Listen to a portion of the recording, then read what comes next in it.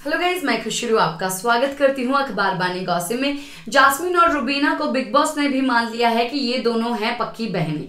हालाँकि क्या बोल रही हूँ मैं? आप लोगों को बताऊँगी, मेरे साथ लास्ट तक जुड़े रहिए, पर उससे पहले अगर आपने हमारा चैनल सब्सक्राइब नहीं किया, नए आए हैं चैनल पे तो ज़रूर सब्सक्राइब कीजिए, बेल आइकन को ज़रूर दबाइए, इस वीडियो को लाइक कीजिए, शेयर कीजिए। तो गाइज़ एक्चुअली में आज एक कैप्टनशिप टास्क होने जा रहा है और वो कैप्टनशिप टास्क जो है, वो ये चीज़ बता रहा है कि घर के अंदर जो है वो पार्टीशन करनी है।